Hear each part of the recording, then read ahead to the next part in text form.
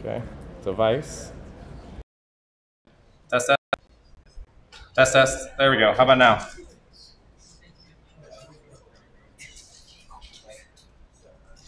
I can't even log in.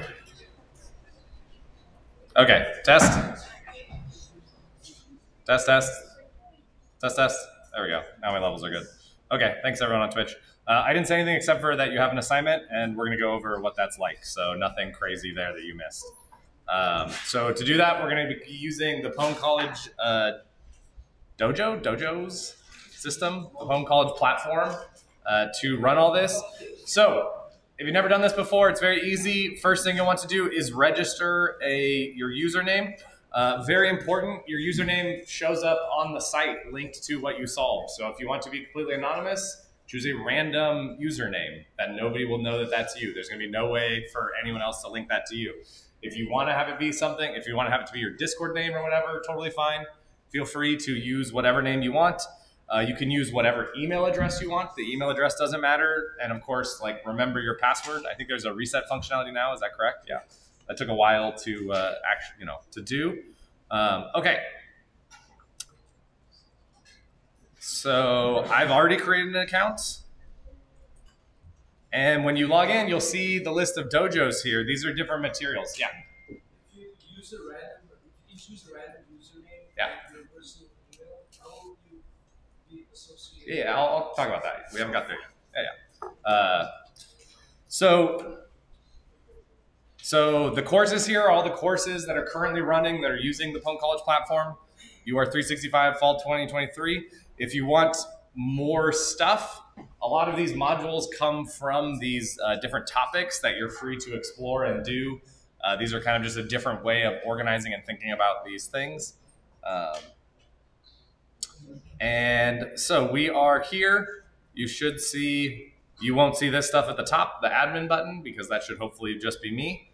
Um, and so the first one is talking web. So this is going to be what we're going to do. What we're going to learn about today is how uh, to structure HTTP, how the HTTP protocol works, and how we can make web requests. The specifics here don't matter. Like I mentioned, we're going to cover that next in starting in 10 minutes. Now we're just going to go over how to use this. So there's uh, important information here of uh, links to different uh, documentations. Um, those will definitely be there. As we get lectures, lectures will be posted on this page as well as the syll- syllabus, so I'll make sure they're in both places. However, if you want to get started, Connor, uh, when he ran 365, has recordings of his lectures and slides. So feel free, that's not right. Uh, feel free to use this material if you like. Um, that's totally up to you. But again, like everything you need to do these will be covered in class. Make sense? Cool. Okay. So there's a bunch of challenges. I know it looks intimidating because there's 39 challenges. Uh, they are quite easy. Uh, let's go over, yeah, curl. We'll start with curl. So first thing you're gonna wanna do is start the challenge. The difference here is there's two buttons, start and practice, create a special instance just for you to be able to work on this challenge. Uh, when it's done, it will say challenge successfully started. The practice, the difference between the two is practice doesn't have a real flag in it. Practice just gives you uh, a fake flag, but gives you root on the container, which may be useful later. I think for these challenges, it's not going to be useful at all, so ignore it for now. So now that we've started, we can access this stuff in three different ways. Um, one way, I guess I'll go and this is definitely not in the order that I approach them. Uh, but one way is with the desktop button. So the desktop button gives you a VNC, like a remote access, as if you were on a Linux desktop. So what is this? KDE? Is that what it's running? Yeah, KDE desktop. So you, you can uh, use anything that's on here. Note that there's no internet access here, so you don't get uh, any of that. Hmm? That's XFCE. Ah, yeah. You're making me lie to these kids. Yeah, whatever. It's whatever it is. Uh, there's a terminal, like a terminal here that you can run, get access to the terminal. This is running on the Dojo system. So if you don't have or don't want to set up a local environment to be able to access these things, you can do it all through the browser here. Uh, as we'll go forward, you can explore different things. There's uh, Ghidra's in here, Wireshark. Did IDA disappear? I guess IDA disappeared. Um, It's not Yan broke it. It's not there. Okay, but for for any challenge you want to run, you'll want to check out the slash challenge directory. So again, this is where why we had module zero last week of using the command line. If you're not familiar with using things like ls to list a directory or cd to change directory or executing things to the command line, then you definitely should go back and do the module zero uh, bandit over the wire um, because this is going to be uh, uh, important there. So for I think all of these challenges, you just have to execute one thing, challenge run. Um, and what this is doing is actually giving you the output. So the whole idea here is you're making web requests here. And so at the start here, it's going to tell you what you should do. Just make an HTTP request to 127.0.0.1 uh, IP address that is localhost on port 80 to get the flag. Uh, you must make this request using the curl command. So this is important. It will tell you what tools. It actually checks that you're using the right tool. Uh, you're basically going to be solving the same levels in three different ways. One using the curl command line tool, one using a raw netcat, which is actually typing in, and I'll, I'll demo that later, of a raw HTTP request to show that you can do these things just by uh, making requests yourself. And then finally with Python. So we use Python a lot in this class. Um, so you'll write Python code in order to solve uh, these levels as well. So this one's pretty uh, simple. It's going to tell us, well, it doesn't tell us what to do, but of course, if we didn't know what this curl thing is, what should we do?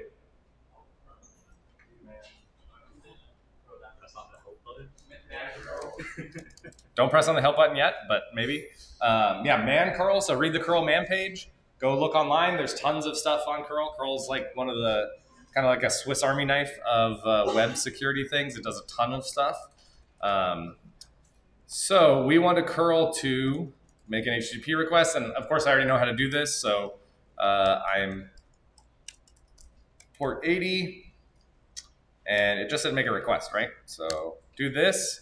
Boom, it gave me the flag. Let's look a little more information, verbose. I can see the request that I made, the HTTP request, which again, we're gonna learn about in uh, five minutes. And it responds back with the flag. So we see something like pwn.college blah. If you're on there right now, don't just like randomly type this in. This is a flag just for me that I know it's for me. Um, so go back to the dojo. Uh, ba, ba, ba, talking web. This was level one. Oh, I hate this. Okay. Let's see. Does it work like that or go? Nope. Okay. You have to use the left box thing? Yeah. Uh, okay. Does that actually work? Yeah, there we go. Submit the flag, and then boom, it says, well, it would say it was correct, but I have already solved this. That's what that green uh, flag is there here. And then you get credit, and then you can move on uh, going forward. So that's way one to access the Pwn College platform. You can also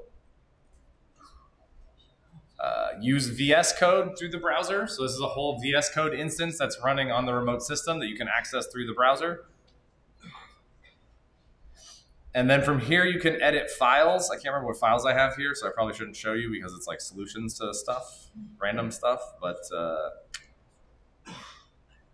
uh, anyways, I have a bunch of uh, stuff. Oh, that's good because that's nothing in there. And then there should be a way. I think if you go here, terminal, new terminal, we'll get a terminal within VS Code here, and you can do challenge run and see everything there and see that I have to make the curl request and see that I can get the flag from here. So that's two ways to access the system.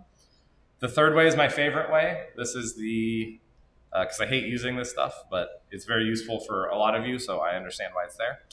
Uh, in your, if you go into your settings in the upper right, go to SSH key. This is where you can paste in your public SSH key to get SSH access to the system. Uh, if you don't know how to do this, there's plenty of resources online. I think we have them somewhere. I have It's stuff. Yeah, it's on the front page too of how to access there. Then you can go from the handy dandy uh, from your own terminal, and you can do things like uh, SSH. Was it hacker at uh, dojo.pwn.college? And then it oh, and then random definitely password that you couldn't see me type in. Okay, now once I'm logged in, I'll be logged into that instance again. I can run that same thing, challenge run. I can see all the same output, and I can curl localhost, and then get the flag this way. So three different ways to do it, depending on what, what you're most comfortable with. Um, cool thing here, what I like about the SSH is that as you launch a new challenge, it still keeps you in there. So I can click start, and then it's removing it, initializing it, connected, and now I'm in web level two. And now it's a different request. It says, uh, I have to make an HTTP request to there. I must make that request with the nc command. So if I did curl localhost, uh, it says, eh, that's incorrect. You needed to actually use uh, nc. So nc, uh, actually I'm gonna save this one. We'll go back and do this later when, uh, when we've learned more stuff of how to actually make this command. Okay, uh, and then people were asking very correctly. So on the course page, there's this course link, which they should be able to see, right? So we've moved the syllabus here. The old syllabus redirects here, so you don't have to worry about which one's which. So you can see the syllabus here. This is where we'll still post, like we said, the recorded lectures, the lecture slides, including today's, as well as uh, the, um, the modules as they're released. And then you can, uh, so two things you need to do, two steps in order to link things to, together. Uh, so first thing, go here to identify identity. I kept wanting to say identify. Uh, identity on the course page for this course. Put in your ASU student ID. We've uploaded all of your student IDs from the roster there. So you should be able to put that in there. And that's how we know that, that you are you. And that's how we're able to link that random person with that random uh, email address there. You can at any point check your grade. So your grade thing, why do I have an E right now?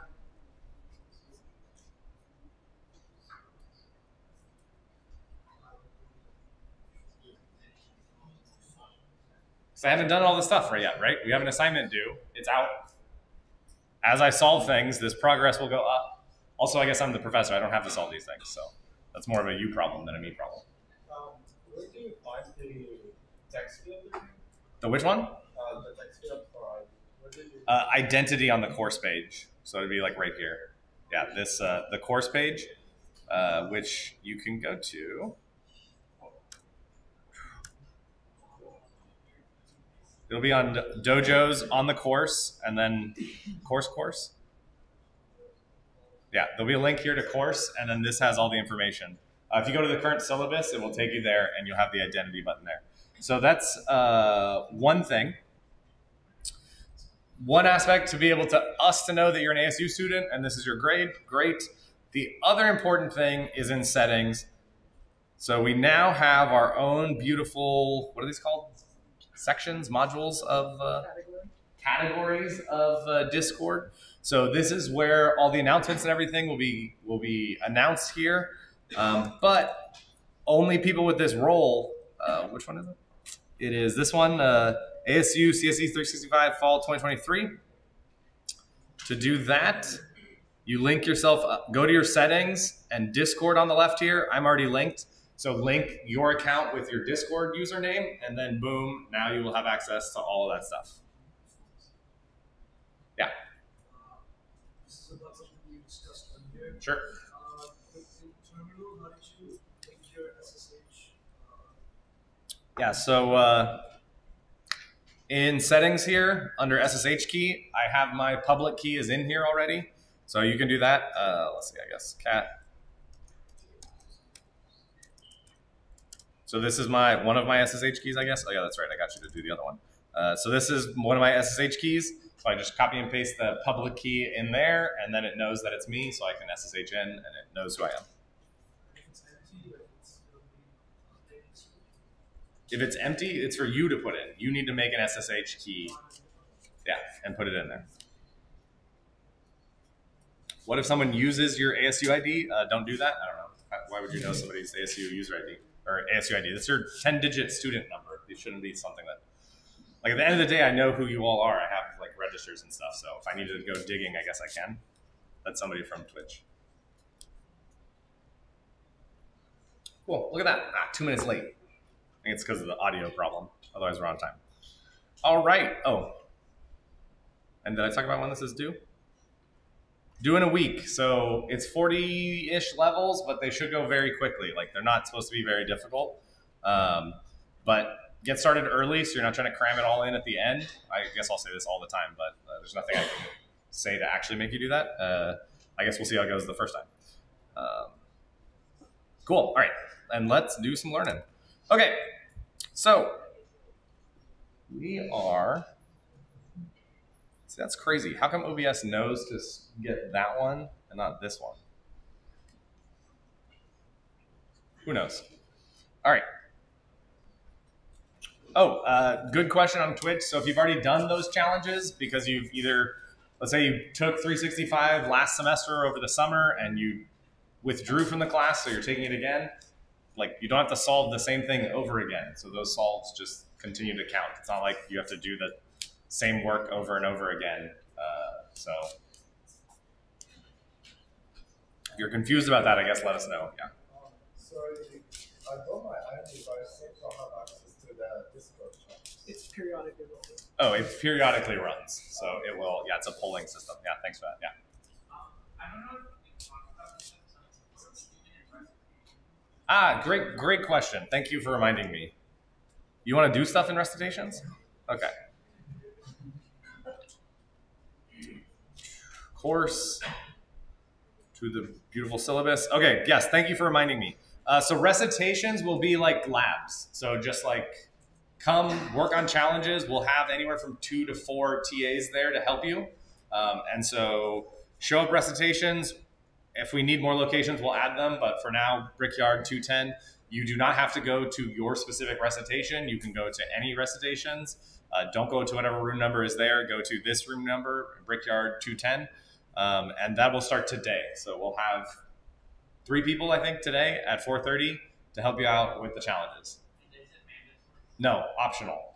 Uh, optional, and you may attend any recitation. Yeah, yeah, I added that today because I was getting questions. So thank you for reminding me to announce that. Cool. The idea is to help you, not force you to come to this thing. But you know, come if you want to use this as the time you work on the challenges. That's fine too. Come, show up, open your laptop, work on stuff. If you're stuck, ask questions. Cool. All right. All right. The web.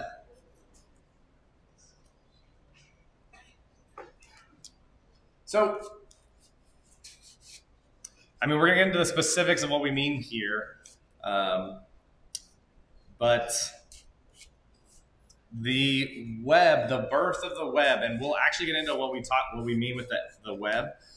Uh, and we're uh, going to go in a little bit of a strange order. We're going to go from like the highest level of networking here. So we're going to learn about uh, the web and a protocol that runs on networks. As we go down, we'll eventually go down and learn how the low level packets make their way to things and do TCP, UDP, all that fun stuff. We're going to start at a high level um, first to give you this background so that we can use that in uh, future modules. So the web actually started, this is, um, anybody know what operating system this is? DOS? No, good, good try. Mac OS, almost correct. Very close. Yeah. What was it? Apple Nextbox. Close. It wasn't an Apple Next. Somebody said it. Yeah, it's Next. So Next was, uh, you can actually see the logo in the upper right there. So Next was, uh, I don't know if you know the story, but Steve Jobs was ousted from Apple uh, by, was it the Pepsi guy, I think, that like came in and like kicked him out of Apple. Um, and so he, he then created a competing company called Next that eventually Apple bought, and then he retook over Apple from within Next. Uh, does anybody do any iOS development? Some people, yeah. What's uh, don't? Uh, what's so when you're doing iOS development? What's like? Uh, you know, there's uh, variables that have or class names that are prefaced with ns underscore, like capital NS. Like, no, or is that Objective C or something?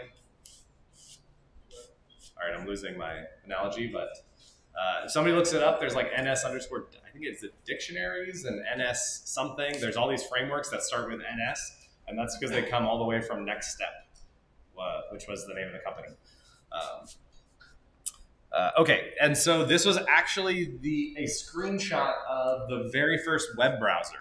Um, so it was created on this NeXT system in I think it's '91, uh, which we'll look at in a minute.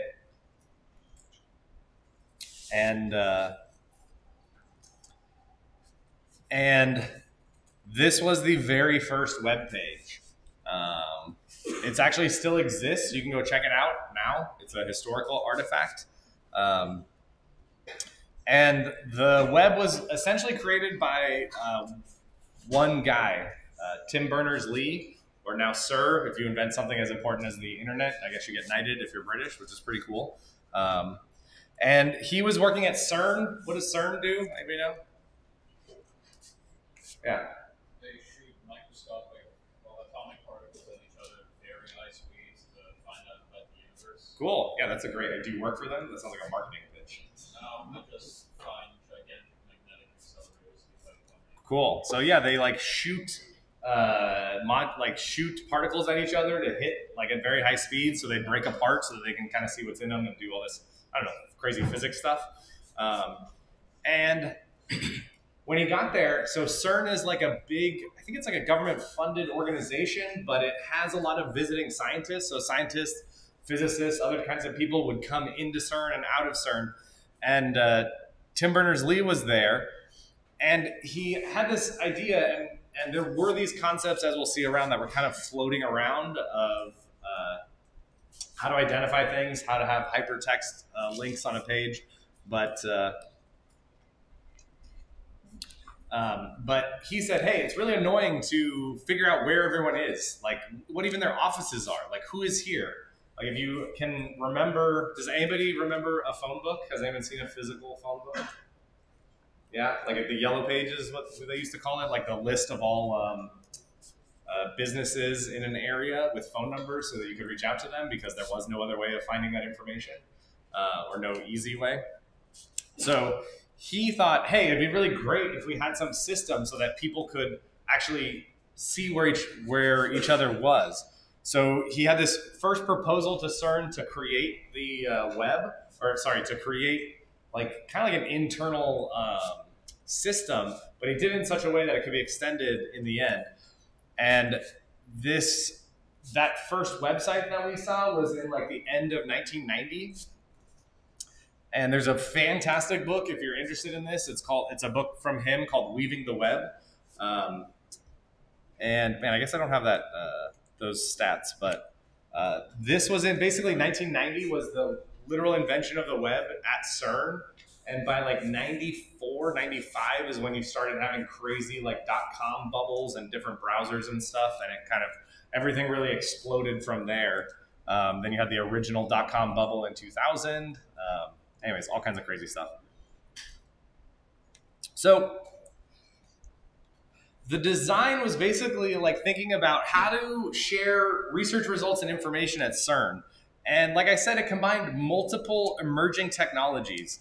Uh, so one is hypertext. So besides being like a super cool term, what does like hypertext mean? Yeah. That are linked.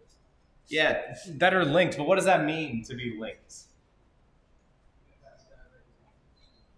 Somebody? Yeah. Yeah, so like more generally, right? It's a text, some kind of text document, text document that has a way to tell you, hey, if you want more information, go see this other document, right? And that's what you're kind of used to is clicking on links. You go to one page, you see something, you click a link, and then all of a sudden you're on an insane Wikipedia page that you uh, never thought you'd see. So but this this wasn't an idea that he necessarily invented. This idea of hypertext has been around uh, for a while. Um, also, the internet was, and we'll actually get into the history of the internet.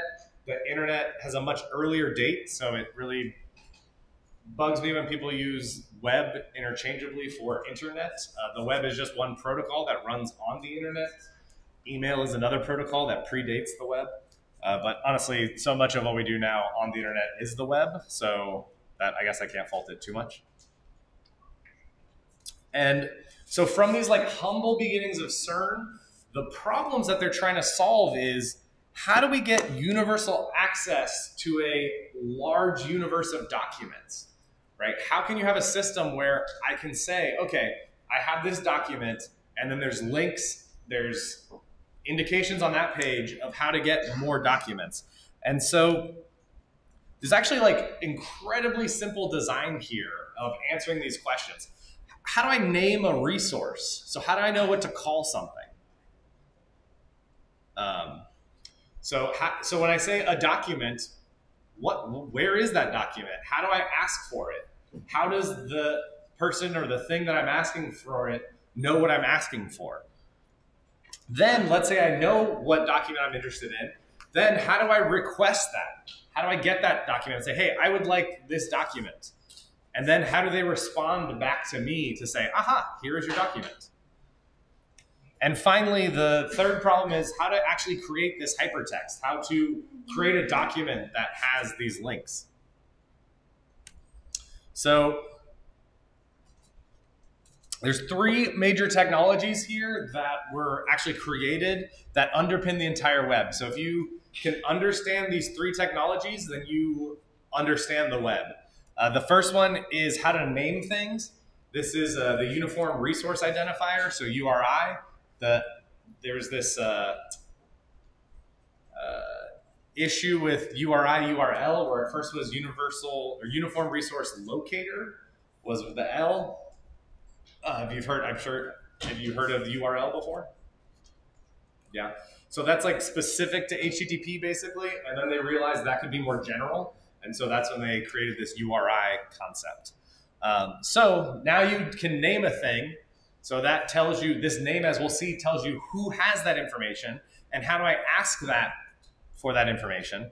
Um, then HTTP is the hypertext transfer protocol that is the layer where a lot of so a lot of what you'll be doing in this module is understanding how to make an HTTP request to a server, and then also how to interpret the server's response.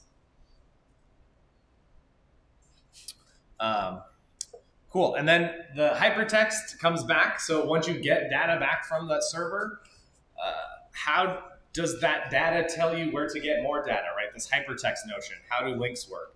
Uh, that's in HTML. So specifically for this module, we're only going to cover um, the first two concepts. We'll return later to HTML and learn about that when we talk about web security and uh, those types of vulnerabilities. So there's actually a really simple, so there's only three things at play here. They're really kind of simple. You first need a URI, and that's your starting point. This tells you how to make a request. And specifically, as we'll see, this tells you what server am I making this request to? So you make the request, and then once you know the server you want to talk to, you make an HTTP request to that server. That server will then return you HTML. Then that HTML will contain more links that have URIs that when you click on them, this whole cycle repeats. Questions? Yeah. Did the domains exist before the web? Say it again. Domains, did they exist before the web? Did domains exist before the web? Whew. Great question. I think the answer is yes, but I'd have to look at the specs for DNS to see for certain. I think DNS was something that came about pretty quickly because people realized they didn't want to type in like. IP addresses. Yeah, and they realized, hey, it'd be really terrible to do that. Yeah. Mhm.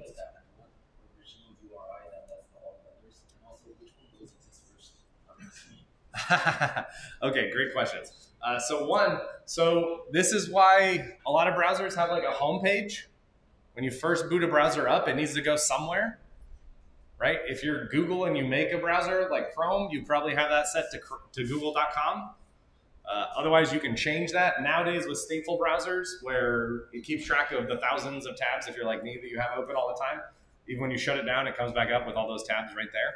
Uh, but yeah, you need to know some initial place to go.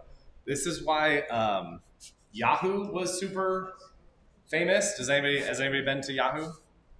Yeah. Anybody know what the original Yahoo was? What was it? Uh, partly, even before that, maybe it was like a mostly a static web page.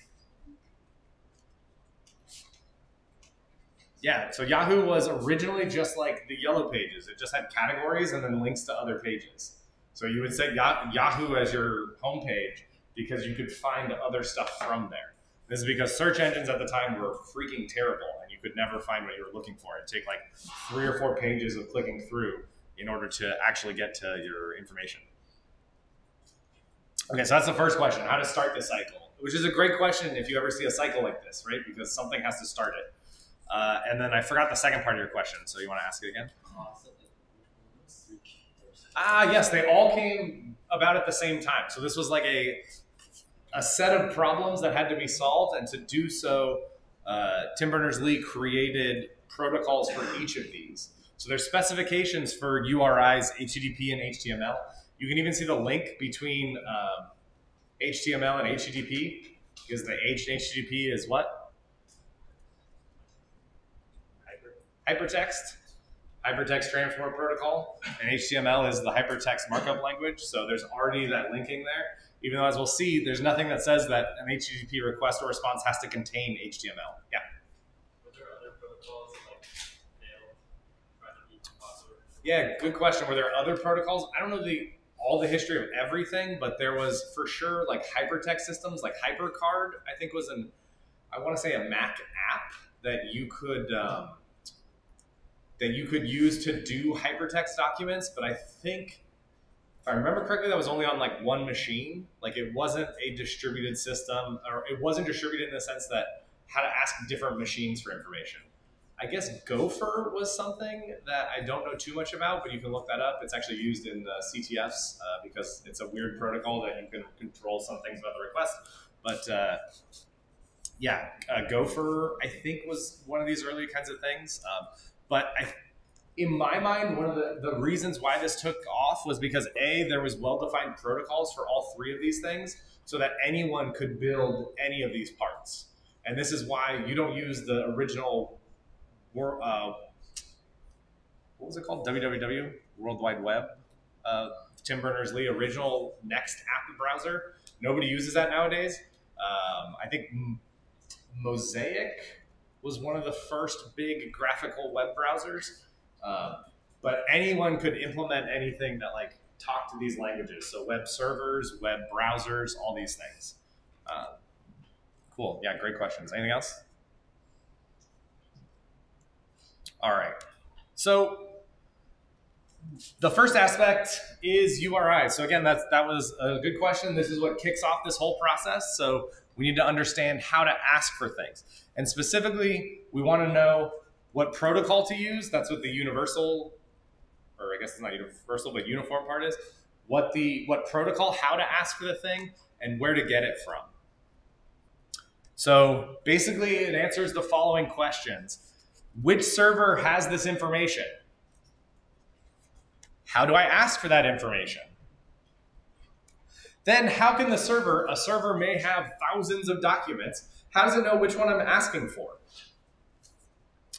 And one of the beauties of why I like uh, networking and I like studying these things is again, you don't have to reverse engineer a web browser in order or a web server in order to understand how URIs should be parsed or should be understood.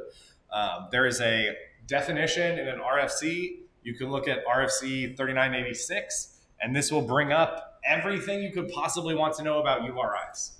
Like, if, like if you have any questions about how something is parsed or how something should be parsed, then you can go up in those, look in those specifications. Cool. So the syntax is actually pretty simple.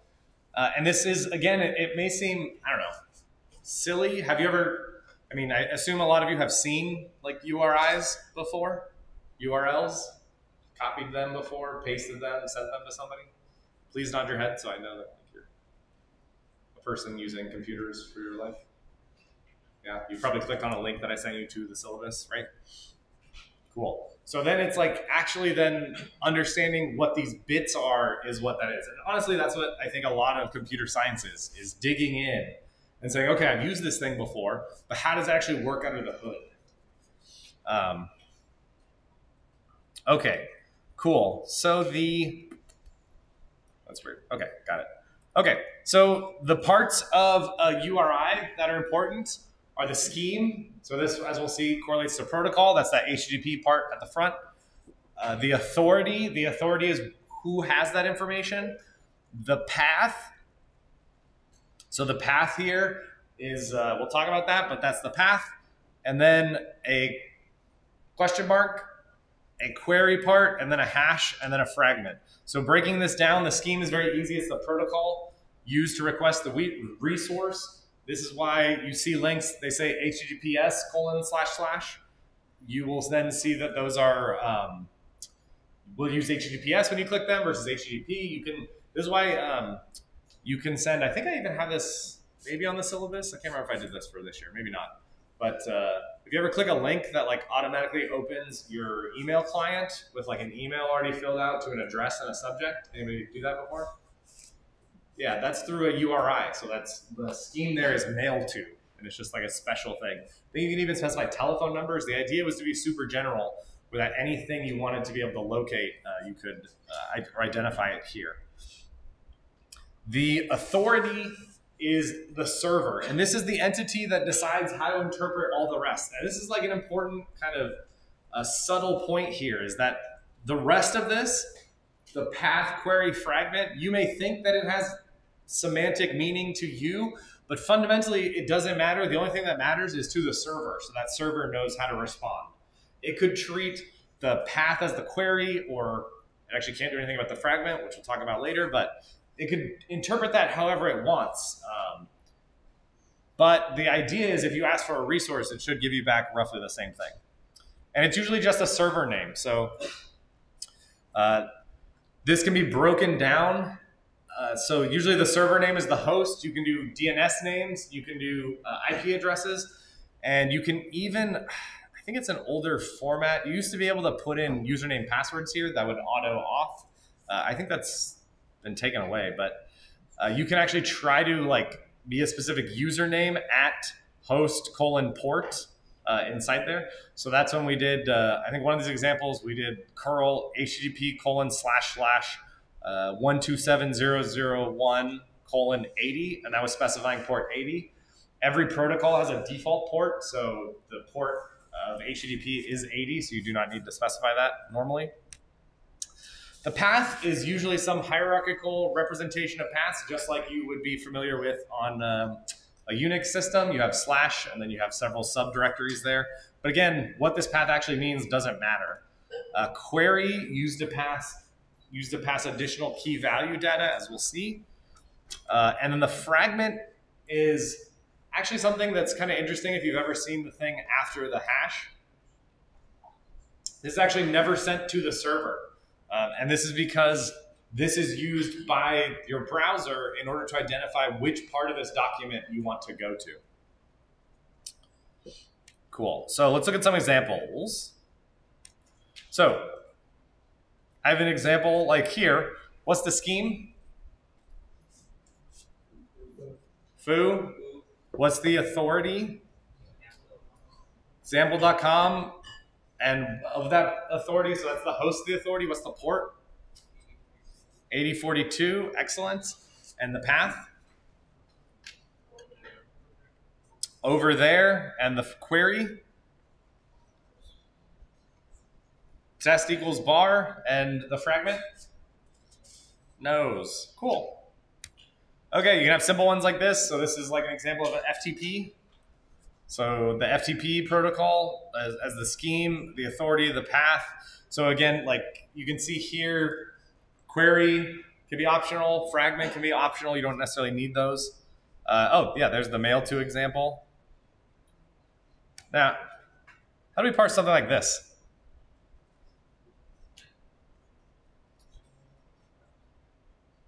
What's the what's the scheme?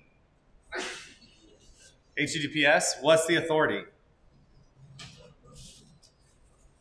What was that? Mm, nobody wants to raise their hand. Why?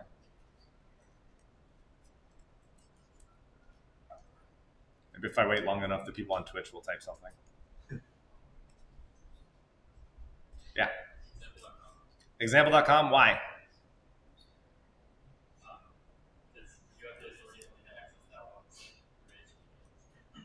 But why is it not uh, example.com slash test slash example and then one is the port? But how do you know? The, the authority comes before the path. And the authority syntax was host colon port. Yeah.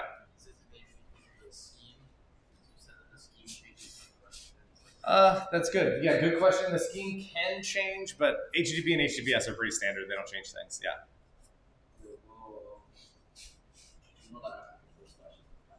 Say it again. You know, after the this HTTPS slash that thread, and then you know, whatever slash after that, that's the slash. So it's like, And what about what's? Let's try something else. What's the query?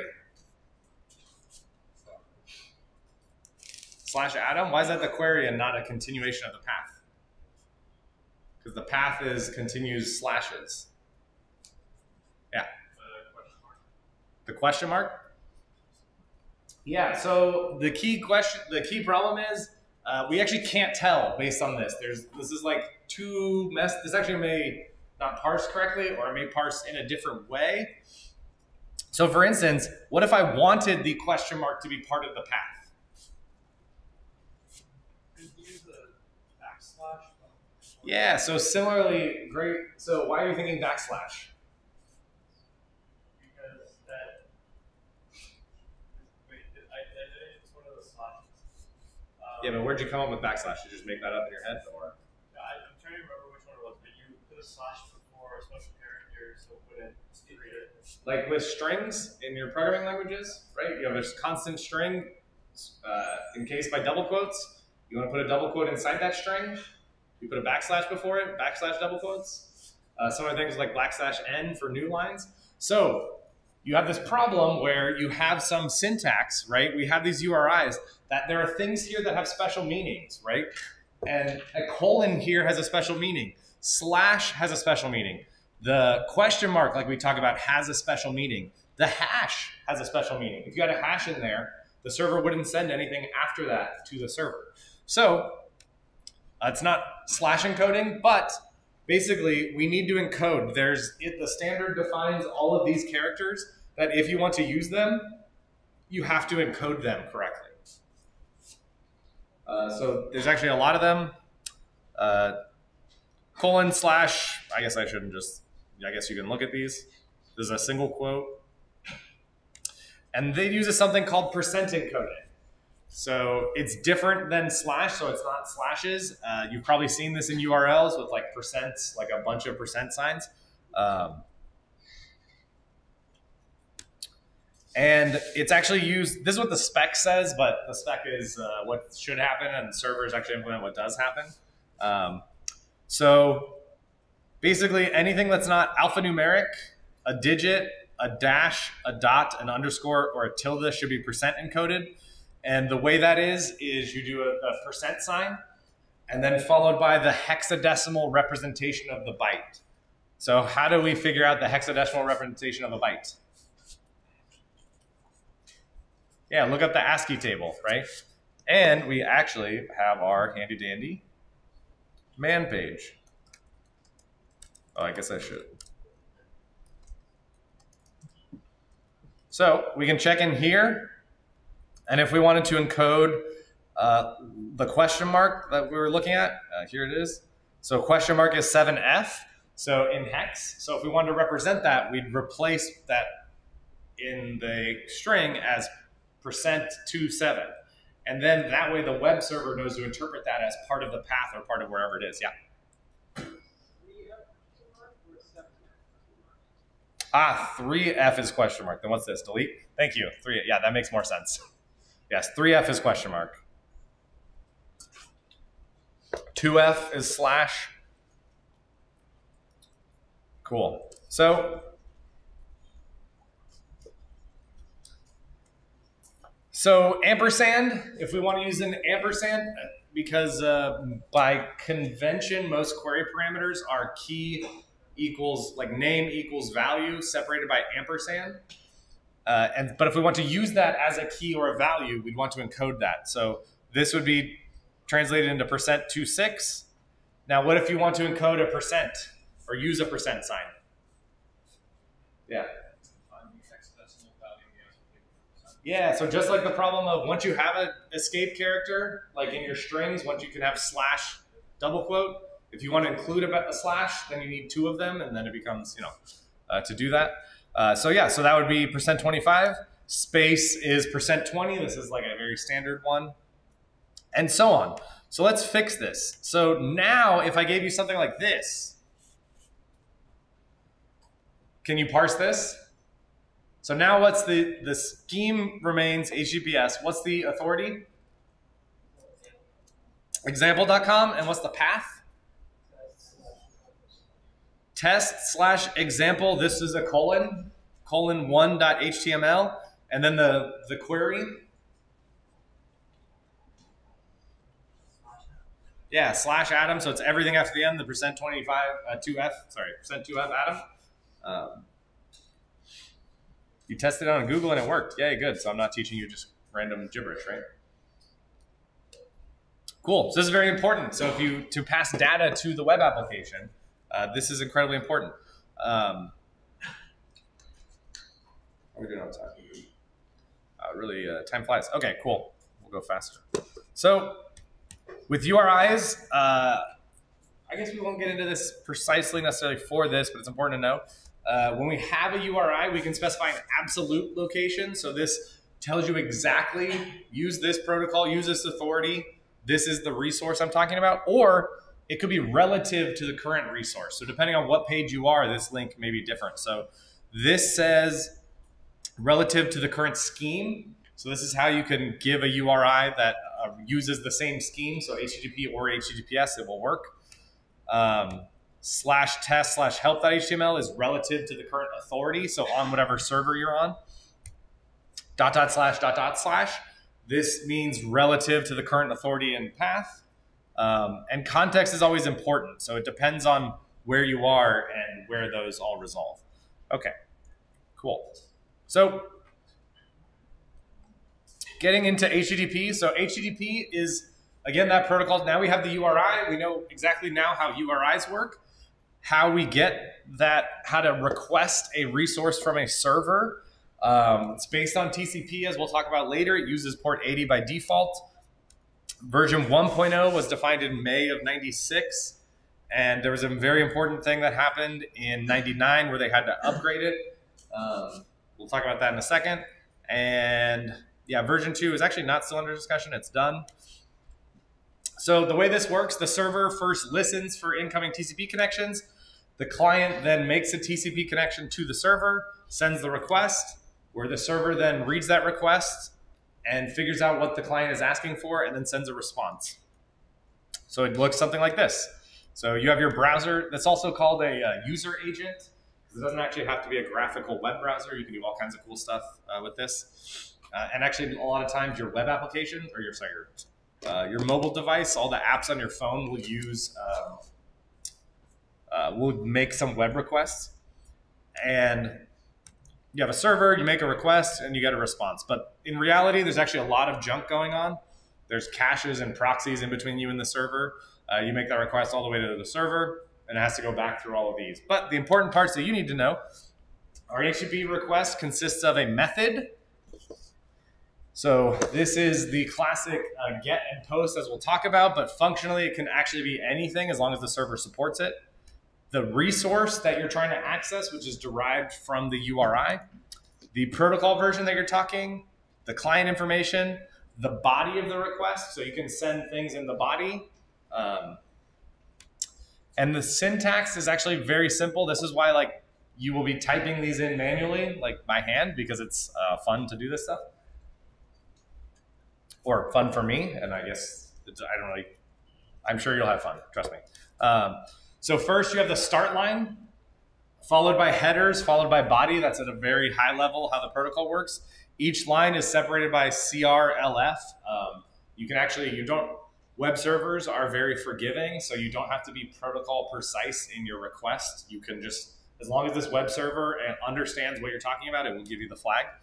Um, Headers are separated from the body via an empty line, just a CRLF. So we'll get to an example in a second. Uh, methods. So the method is the what essentially what the client is trying to ask the server to do to that resource. So some common methods are a get. So we want to, hey, just give me whatever resource is here. And this is in all caps get. Post is traditionally associated with, hey, uh, process like I'm going to give you data as part of my HTTP request as part of the body, and I want you to interpret that. Put is mostly used in like REST APIs and stuff. It's not really used by web browsers.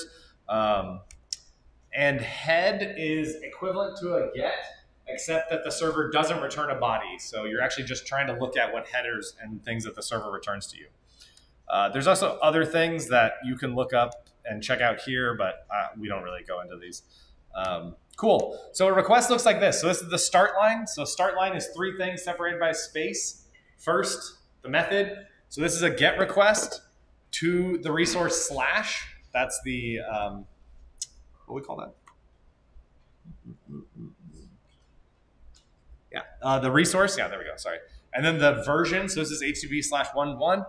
Then after a CRLF, it's all of the headers. Headers are of the form header name, colon, space, and then the value.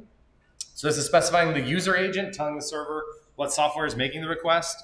The host parameter is really important because it uh, allows a single web server to listen on the same IP address for multiple and serve multiple websites. So the server knows what the what request the user is trying to make and accept, and you can't see it. So what can't you see in this that is there in this request? So format is the start line, which we have at the top, headers. So headers, there's three headers here, and then what?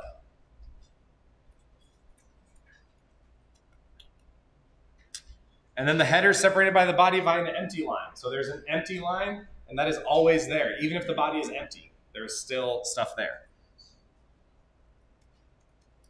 Cool. Okay, modern requests may be quite different. So this is like just a snapshot of some of the things.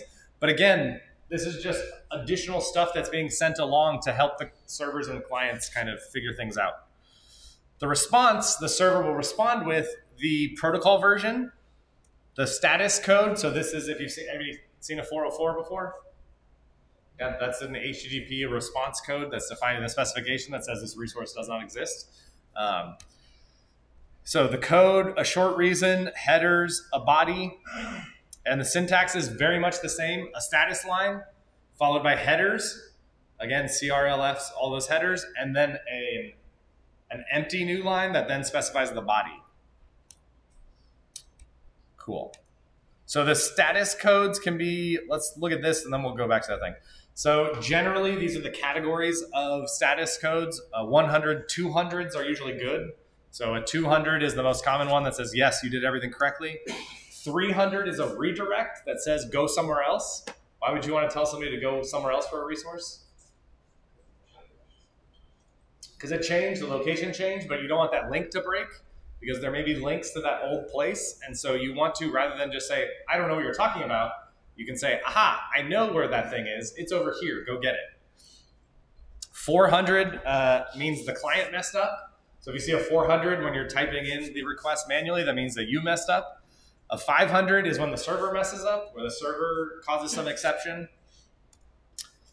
And these are some examples. Cool. Oh, more examples. I guess we don't need all these.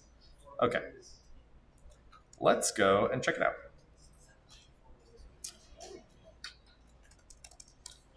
All right. So this says I need to make a request on with Netcat. So Netcat is, uh, I can check out the man page. You can also check out the man page of man if you're very confused. Uh, NC destination port. So I need to make a request to localhost. Uh, localhost is just an alias to 127.0.0.1. Port 80.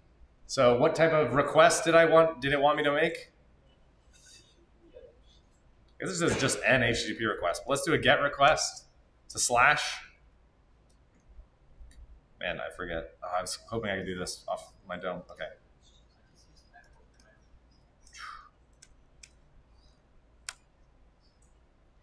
Done. Why did that work?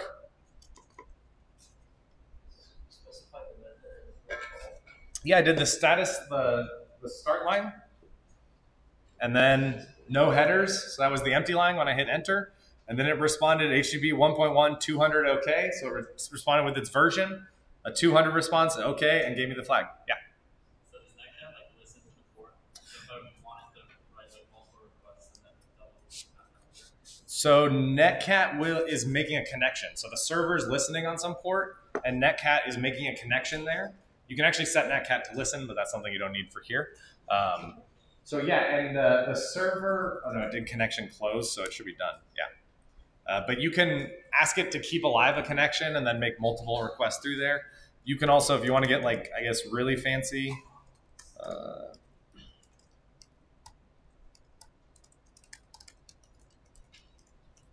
See if that works. Nope. I thought that would work.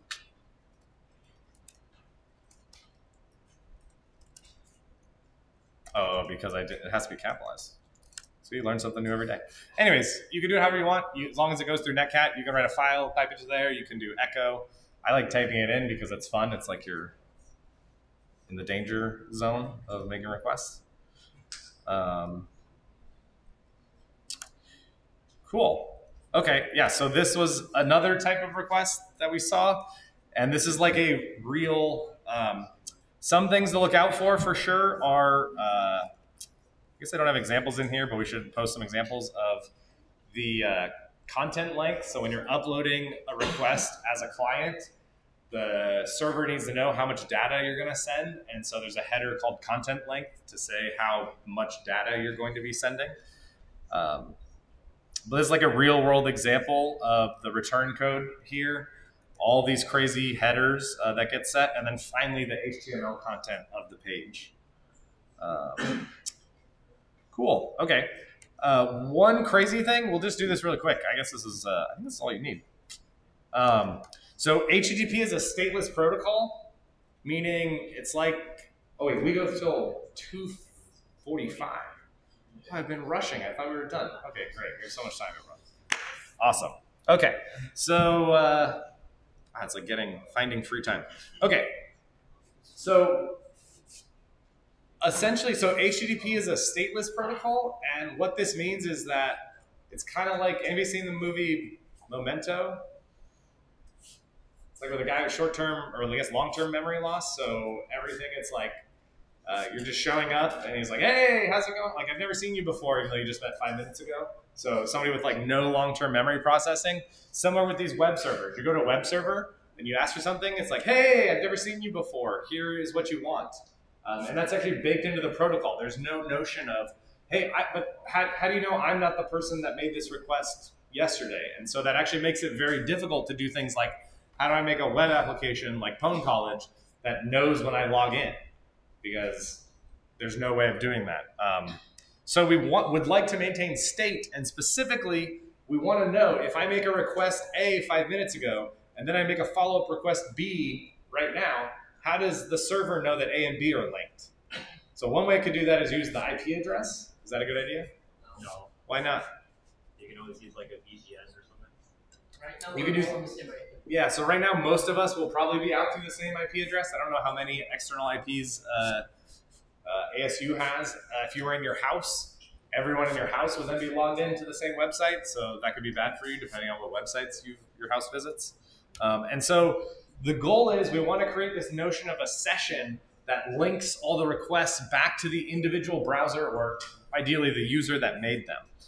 Uh, and this allows things like authentication. We want to know, we want to be able to have give different access to the system to different users um, and to make actually things. So there's several ways to do this. I'm only going to talk about one of them because it's the only one that's actually used. Um, sometimes they embed information in URLs about who you are. This is if you've ever uh, some sometimes you can do this where like your user information is embedded in a URL.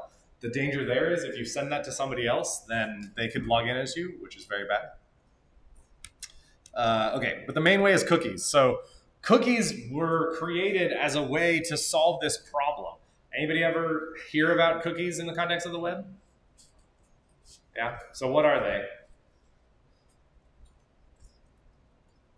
A lot more people for the first one. Yeah. It's it's like small bits of information that are stored in the client's browser, Mhm. whether or not it be session storage or local storage.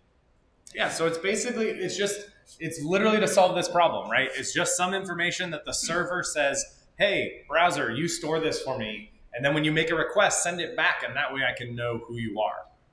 Um, so the server is the one that initiates this process and asks the server to store a cookie. Then the server or user agent at any time can terminate the session. So the the client can decide to just uh, throw away that cookie and not use it when it makes a request, in which case the server will not know that this user is the same user.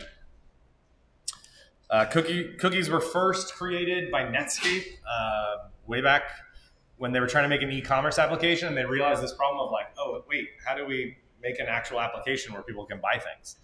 Um, in '97, is this was the first attempt to standardize cookies, and actually, this is like fascinating if you look at this history cookies are seem to be so simple, but they're insanely uh, complicated. So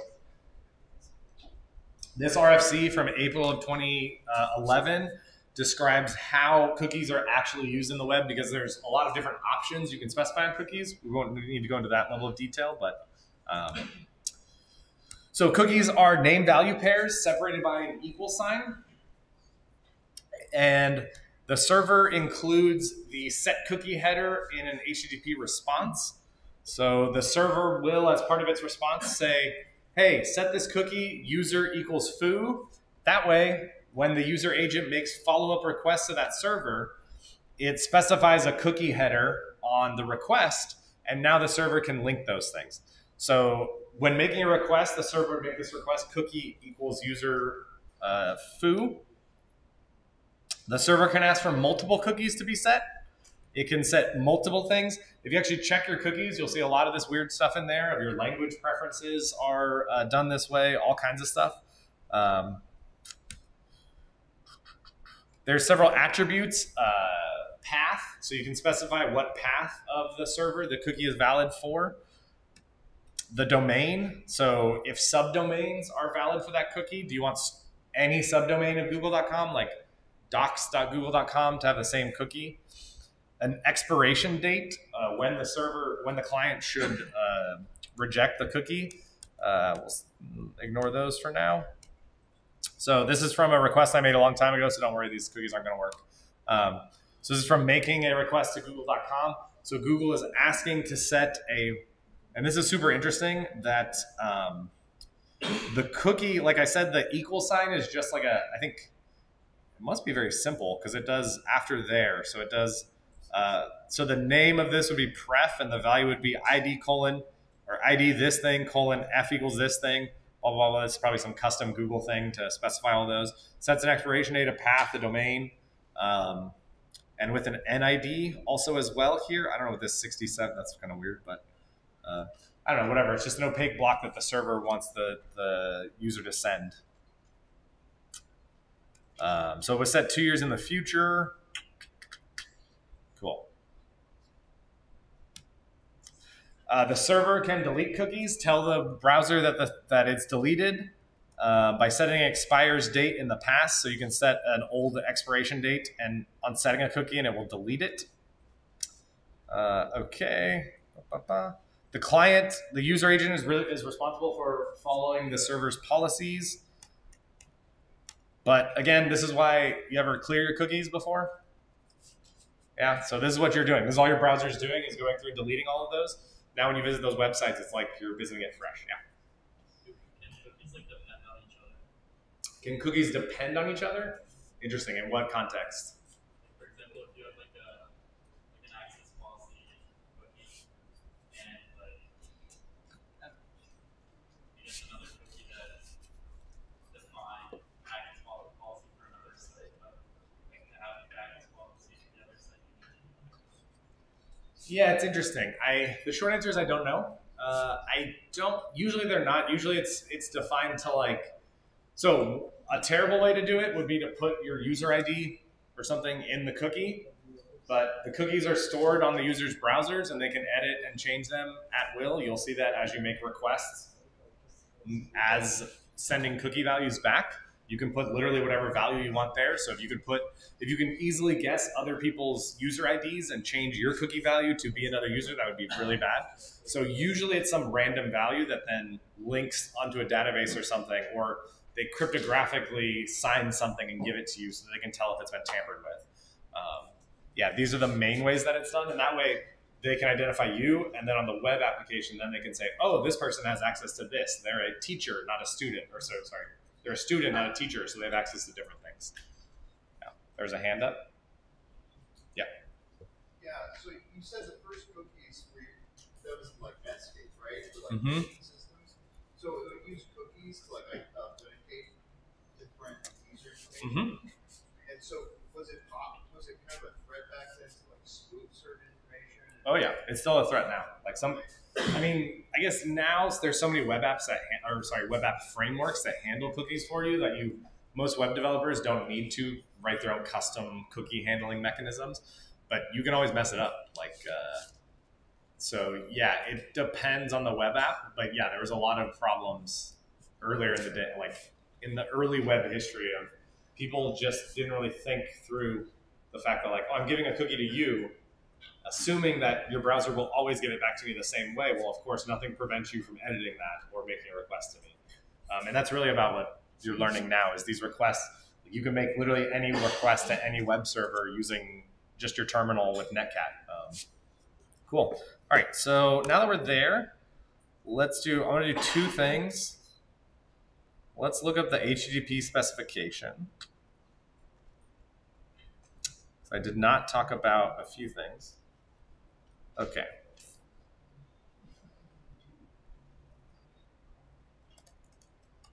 I think there's a link here on the thing, but we'll just go with this.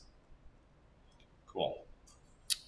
Okay, so you can always read this. I know that may sound silly, but there's actually kind of interesting stuff about how this stuff works. If you're interested in, like, for instance, uh, transfer encoding, there's all kinds of crazy stuff about how to transfer different informations from one side to the other. What I'm interested in now, because you're going to be making a request. So the request we talked about, the method, the SP means space here, method, request URI, HTTP version. Um, these are the different methods. This is like when I brought up all those things, like I didn't just make up those different HTTP options, right? They come all from the specification that you can check out. Uh, if you want to know what a request URI looks like, it can be something like this. Um, anyways, the important thing though is, yeah. So these are kind of uh, important characters. Anyways, this is what I was mentioning earlier. If you're uploading data to a server, the content length is very important because it specifies in the body how much, because there's nothing in the request that says when the server should stop like how much data are you uploading. Uh, there's only the start line, headers, and then a new line, and then the body. And the body could be unlimited length. So uh, you need that. And then we didn't talk about this, but I think we talked about it a little bit. So we curled localhost. Oh, I messed that up. Um, so we did this. That one. And then, okay, so going over URIs again, foo and, okay, so name equals value and uh, bar equals value. Okay, cool. So this obviously didn't work, but in this URI, which part is the query?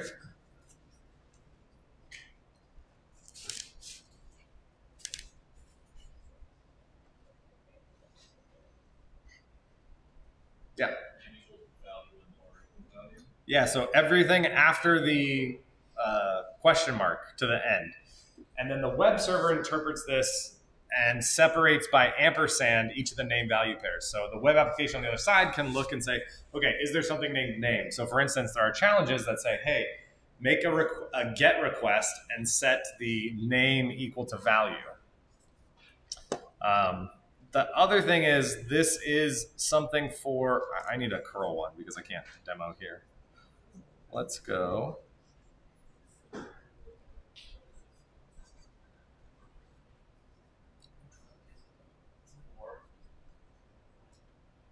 There we go. Oh, you know what I was thinking we should do is set it so that it keeps the history without quitting.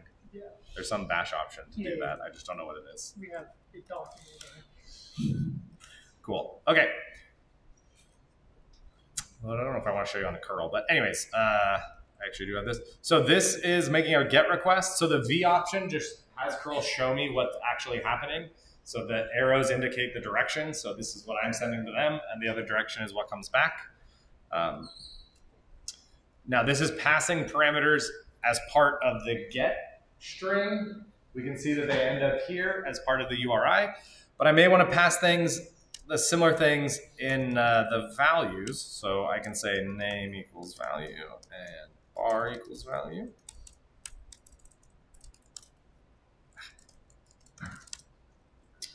And so now I'm making a request to, to slash foo. Again, like I said, the content length of 20. Ah, why doesn't it show me?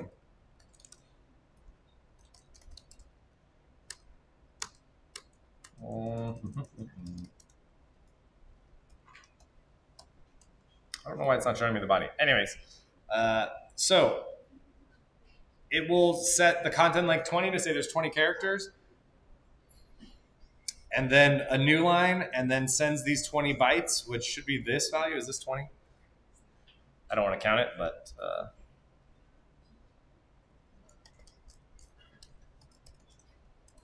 yeah, 20, good. Way easier than counting.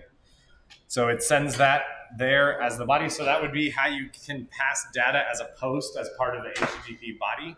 Uh, so it shows you the different ways that you can pass parameters in that way. And I think that that's all you need. So good luck.